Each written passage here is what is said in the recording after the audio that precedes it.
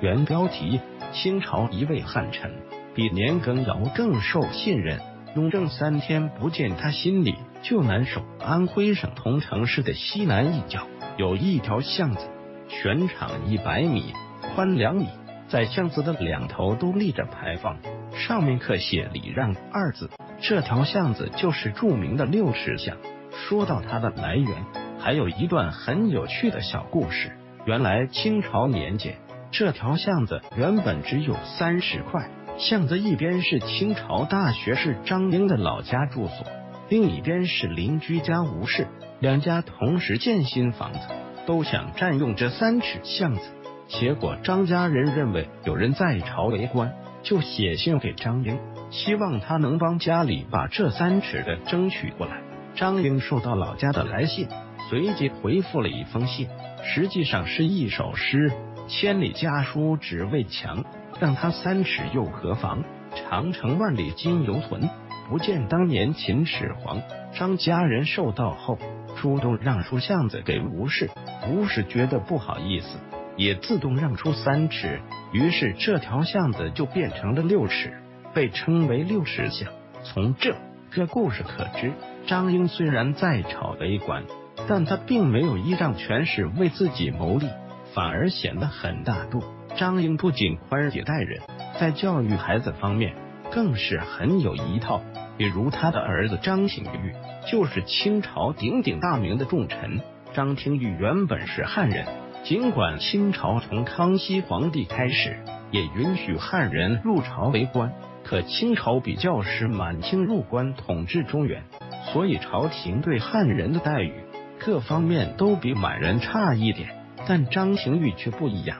他当时在朝中的地位比年羹尧还高。张廷玉出生于康熙十一年，康熙三十九年高中进士，从此入朝为官。三十二岁时，他就成为南书房官员。康熙皇帝对他非常欣赏。四十岁时，张廷玉担任礼部尚书。当时朝廷几乎所有重大事件的文书都由张廷玉起草。张廷玉之所以深受朝廷重用，主要是他博学多才。据说他能过目不忘，处理政务方面更是能手。康熙晚年时期，雍正便看上他的才华，两人走得很近。后来雍正继位后，对张廷玉大加提拔，封他为太子太保。后来清朝成立军机处，张廷玉被雍正封为首席军机大臣，这在汉人官员中。已经算是位极人臣了，而雍正对张廷玉的信任完全超过了当时的年羹尧，任何满族大臣都比不了。在生活中，雍正也很关心他。有一次，张廷玉生病了，雍正皇帝表现的比他本人还着急，立马派人询问病情，并请教宫中御医到张廷玉府上看病。雍正还肉麻的说。若三天见不到横臣张廷玉的字，朕心里就难受。